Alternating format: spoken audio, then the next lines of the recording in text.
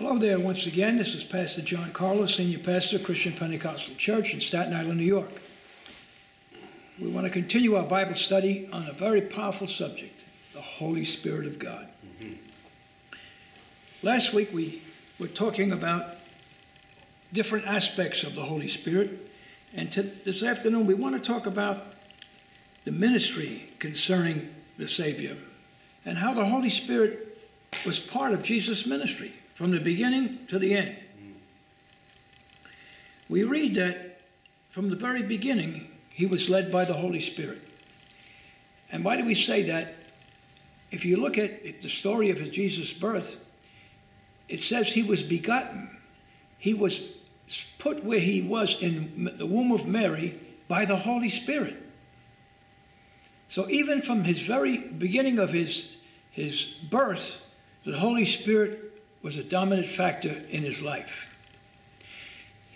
The Bible tells us that Mary and also Joseph were visited by the Holy Spirit.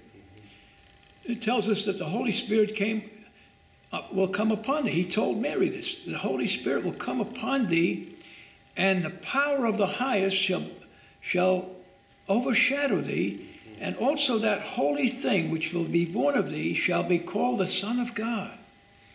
Wow. We also see that Joseph, wondering what's really going on, this was his, his engaged to be wife, and here all of a sudden she shows up pregnant. And of course, in those days, if a woman had done that, she would be a candidate for stoning for death. But we also see Joseph had the right to put her up. He had the right to bring her in front of the, the judges and have her put to death. The Lord saw his heart and sent the Lord, an angel appeared unto him in a dream and told him that Joseph, thou son of David, fear not to take thee Mary thy wife, for that which is conceived in her is of the Holy Spirit, not by a, another man. And again, thank God that Joseph was the kind of a man that could accept this and be part of this great story. When Jesus began his ministry, the Bible also tells us that he went and was baptized in water where John the Baptist, who was his cousin, was bringing the message of there's one coming, there's one coming, there's one coming whose, whose shoelaces I am not worthy to bear, to tie. As we see Jesus being baptized, and I, I believe we know that the Holy Spirit is Jesus, and Jesus is the Holy Spirit, and, and the Father, and so on. But I think this, the point of this story was in the baptism, we see that the Holy Spirit descends like a dove over him. And the Father speaks, This is my beloved Son, in whom I am well pleased. We see in this baptismal scene the Father, the Son, and the Holy Spirit all together at the same time in the same place. Jesus many times tells us that the Spirit of God is on him.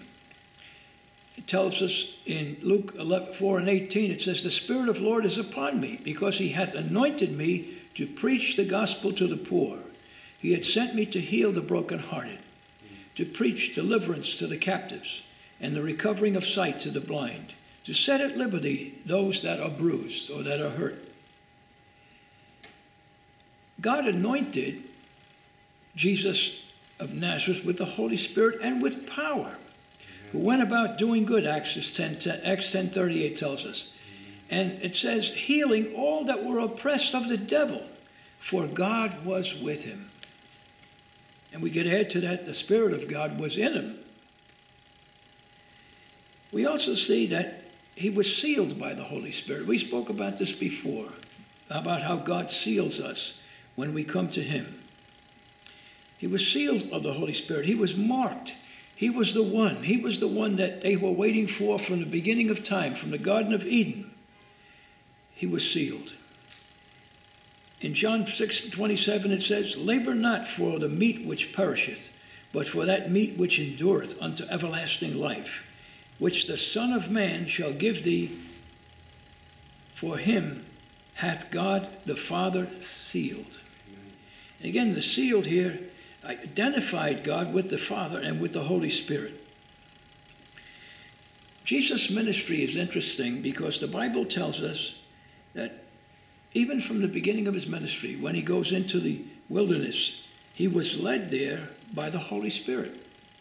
And this was a unique test, which actually he should have lost, in the sense that he had not eaten for 40 days or drank any water, and he was tired physically and probably even thirsty, hungry, and so on. And we see that he's led into this time with the devil, this temptation, by the Holy Spirit himself. And I believe it was done to show us that we can overcome anything the devil can put at us. And you'll notice that Jesus uses as his weapon the Word of God. The Word of God says this, the Word of God says that to every one of his temptations, right? He was empowered by the Holy Spirit in Matthew 12 and 28. But if I cast out devils by the Spirit of God, then the kingdom of God is come unto you. He is telling a group of people that he's ministering to. He was filled with the Holy Spirit. In John 3 34, it tells us, For he whom God had sent speaketh the words of God, for God giveth not the Spirit of by measure unto him. And Jesus, being full of the Holy Spirit, returned from Jordan and was led by the Holy Spirit into the wilderness, and so on.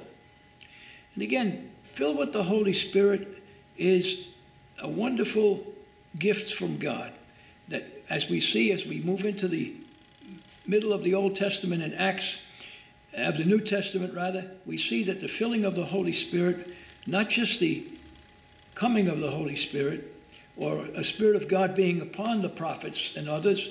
But here, at this point in time, God decides to send the Holy Spirit to fill the believers. And look what has, has been accomplished by that.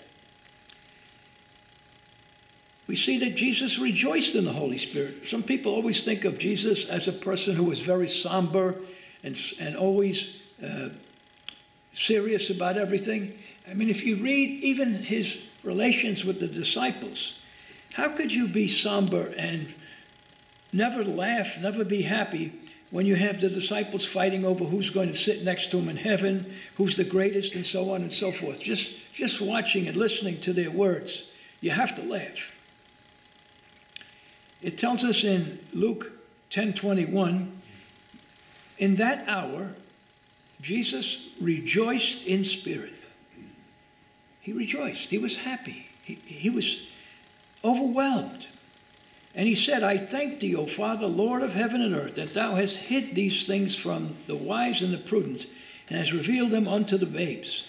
Even so, Father, so it has been seemed good in thy sight. Even his death, we see the Holy Spirit in that particular situation. He offered himself at Calvary through the Holy Spirit. Look at it tells us in, in Hebrews 9 and 14. Christ, who through the eternal Holy Spirit offered himself without spot or blemish to God. Purge your conscience from dead works to serve the really living God. He was declared to be the Son of God many times with power according to the Holy Spirit of holiness, the Bible tells us, by the resurrection from the dead. Romans 1 and 4. In 1 Peter 1, 3 and 18, we are told this For Christ also hath once suffered for sins, the cross, and all the pain and the mocking and so on, the just for the unjust, that he might bring us to God, being put to death in the flesh, but quickened or made alive by the Holy Spirit. Wow. The Savior also commanded his disciples after his resurrection through the Holy Spirit.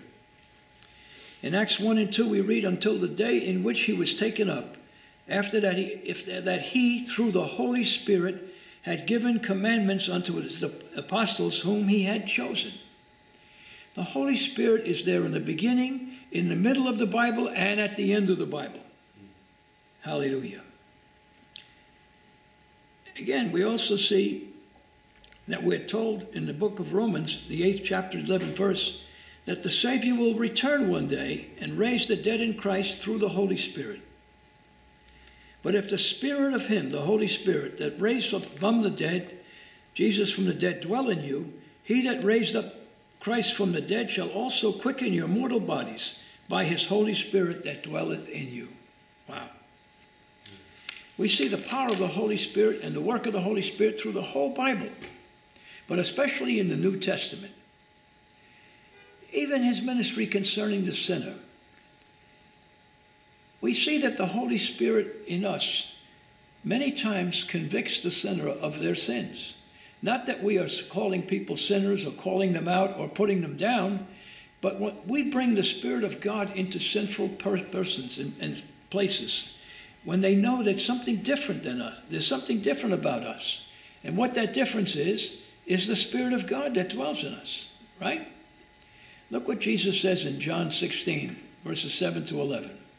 Nevertheless, I tell you the truth. It is expedient for you that I go away. For if I go not away, the Comforter, which is the Holy Spirit, will not come unto you. Uh, but I, if I depart, I will send him unto you. And when he is come, he will reprove the world of sin. He would convict the world of sin. He would let people know that what they're doing, saying, or thinking is sinful. That's why people many times don't like to be around Christians because without saying a word, people are guilty and they feel it, that they're living in a way that is not approved by God. We also read that the Spirit of God convicts, and this is along with what we just said. He convicts people. And it says here in John 8 and 9, and they which heard it, being convicted by their own conscience, went out one by one, beginning with the eldest, even to the last, and Jesus was left alone, and the woman standing in the midst. This is the story of a woman caught in the act of adultery.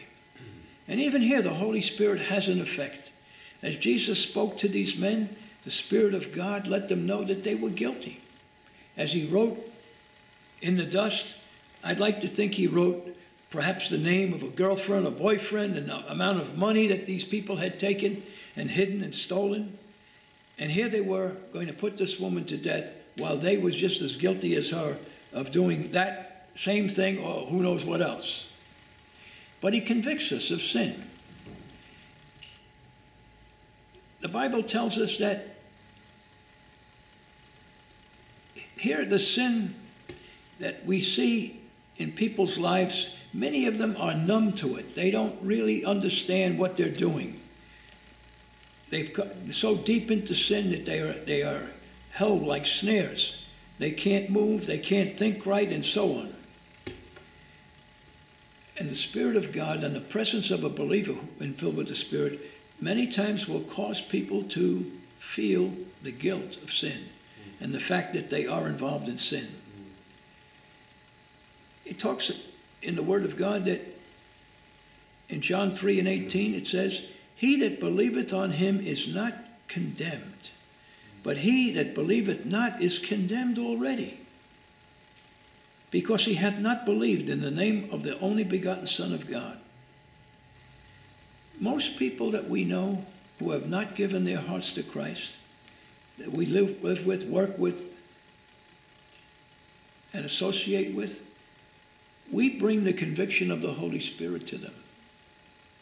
Not that we're better than them or we're out there just to point out their sin. But you can't be in the presence of the Holy Spirit and be a sinner and not realize that you're a sinner. And we see that in the lives of people who come to Christ. They hear the gospel, which is the, the written word, the spoken word from the Word of God, empowered by the Holy Spirit, and it convicts, it convicts men and women that they need a Savior. We also see that in regard even to the devil, he is already condemned. And that's what his game is. He wants to take as many people as he can with them. Maybe that's his, what he thinks is his, his uh, revenge on God and what God did to him and kicked him out of heaven. But the convicting ministry of the Holy Spirit is right throughout the Bible.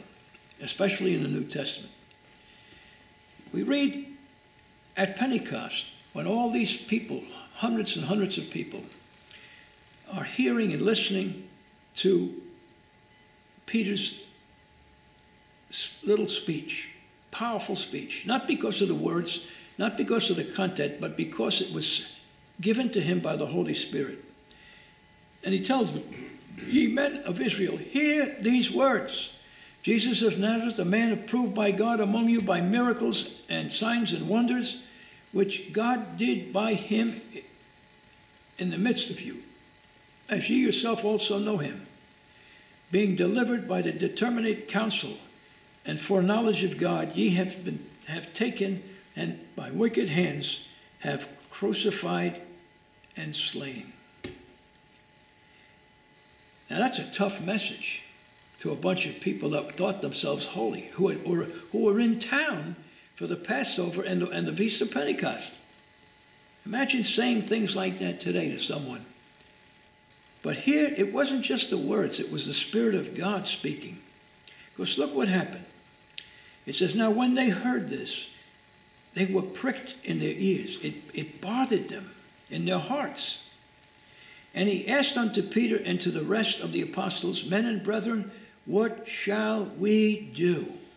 And of course, they told him that he had, they had to accept Jesus Christ as their Lord and Savior. And we know from the Word of God that 3,000 men came to Christ that day, that afternoon. It's interesting because they didn't count women in those days. And if you kind of take that 3,000 number, you can imagine there might have been another 3,000 or more women and girls. So that day, it might have not have been just 3,000 people that got saved, but whole families that got saved through the Holy Spirit. In the story of the uh, uh, Ethiopian uh, eunuch, here's a man reading the book of Isaiah, traveling in a chariot in the middle of a desert, and Philip, one of the, one of the uh, deacons, who had become also a evangelist, has been bringing the gospel in a place 30 miles away. And he's told by God to go out into the desert through the Holy Spirit. Now imagine this. People were getting saved, people were getting filled, lives were being changed, and God says, Leave here and go out into the desert. And he goes out there. And while he gets to the, this point in the desert, he notices a chariot going by with an Ethiopian man who was a very powerful man in Ethiopia. And he, he runs alongside the chariot. And it's amazing that the man in the chariot apparently was coming to Jerusalem, and apparently he had been told, somebody must have told him something about God. And he's reading the book of Isaiah, which is prophetic about Christ. And as he's reading, the, reading he asked, the man asked Philip, Can you understand what this is all about? What is this saying? And they stop the chariot. Peter gets in, uh, brother, brother Philip gets in, and begins to tell him the story of Jesus, the Messiah that they were all waiting for. And the man gets saved. He accepts Christ as his Savior. And what's interesting is, I guess one of the things that Philip mentioned was that when a person gets saved, they get baptized in water as a symbol to the, to the outside world that they've given their heart to Christ. And this man, he's in a hurry. He says, Well, there's some water over there as they're traveling. Why can't I be baptized right now? Why do I have to wait for a certain day, a certain place, and a certain minister to, to uh, baptize me? And the beautiful part of the story is he gets baptized. And I believe this man went back to Ethiopia and began to tell everybody about Jesus Christ. And great things, I'm sure, happened. And through the Holy Spirit, many people came to Christ because one man didn't say, What do you want me to leave this beautiful uh, uh, assembly here with all these people just getting saved? I'm here. I'm going to teach them about Christ and all that. But he obeys. And he goes to a place he didn't know where he was going and why. And look what happens an important person in a, in a kingdom comes to know Christ. And of course, I'm sure passes it on. There are other examples in the Bible. Even the story of, of the centurion, where this man Cornelius is praying. And the Bible says that the Spirit of God speaks to him and tells him to send for Peter, one of the disciples, in the same town at a certain address. Wow. Gave the man all the directions. And while the Spirit of God was speaking to Cornelius, Peter also was praying, and the Holy Spirit says, There's going to be some men coming for you. They're going to be knocking at your door. Go with them. Now, it may sound like it's not a big thing, but you have to remember at that time the Jews hated the Romans. The Romans were the aggressors. They were the they were the the, the, the Jewish people were like prisoners of war, so to speak. The Romans were tough on them and so on. And here, the Spirit of God says to Peter, Go with these men. To go to the house of a Gentile was a no no. And here Peter, led by the Spirit, listens and goes. He didn't know why he was going there, he was just told to go. And we read that the centurion had a lot of people there at the house waiting. They were waiting to hear about Jesus. Maybe they heard about him, but they wanted to know more. Remember, Peter was a, a witness to the whole life of Jesus as in ministry. Peter's talking, he didn't give an altar call. he didn't lay hands on anybody, right? In fact, he brought a couple of other brothers with him to kind of be witnesses that he didn't violate any of the any of the Jewish laws, right? And what it says here in Acts 10, verse 44. While Peter yet spake, the Holy Spirit fell on all them which heard the word. Wow. I've never seen that in a church. The Spirit of God falls upon Cornelius, the Roman, and I'm, I'm assuming that most of the people that were there were Romans, maybe even soldiers as well. And all of them were filled with the Holy Spirit. Wow. Wow. You see how God works? He works in a way that we couldn't even imagine. We couldn't even plan it. There were other occasions when the Spirit of God was revealed to people in power. The, sto- the story of Felix, the governor, right? And we see that Paul is speaking to him, and I assume he's telling him about Christ and so on. And as he's talking about all these godly things, this governor begins to tremble. Tremble. And he says to Paul, Go thy way, for this time when I have, for the time when I have a, a convenient season, I will call for you then, for thee. Just the presence of the Holy Spirit in, in Paul caused this man to be touched. And this is a powerful man. Even King Agrippa. We read Paul is being interviewed by him or interrogated, and his life is on the line, basically. And as Paul is sharing the gospel and the story of Jesus, it affected him. It affected him in a way that, listen to what he says. Festus, his name, said with a loud voice, Paul, thou art beside thyself. You go, you're crazy. Much learning hath made thee mad.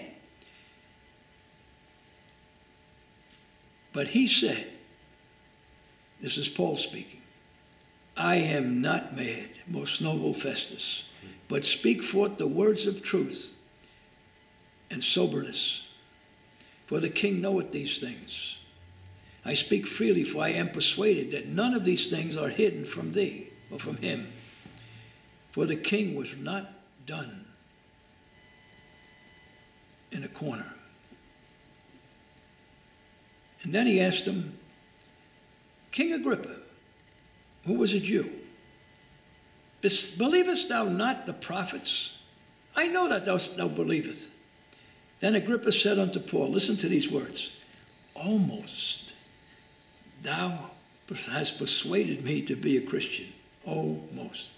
But almost is not enough.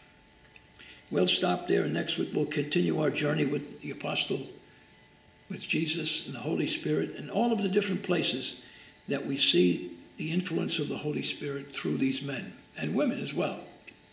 Father, we thank you once again for your word. Help us, Lord, to be always ready to bring the word of God to people. And not just what we think, but allowing the Holy Spirit to speak through us. Because the Holy Spirit knows the heart of the person that we are speaking of and that we are trying to introduce to the gospel. Help us, Lord, to yield to the Holy Spirit and allow the Holy Spirit to touch the hearts of people. So not our wisdom or our gifts will be raised up, but you will be raised up. Mm. We pray this in Jesus' name. Amen. God bless you.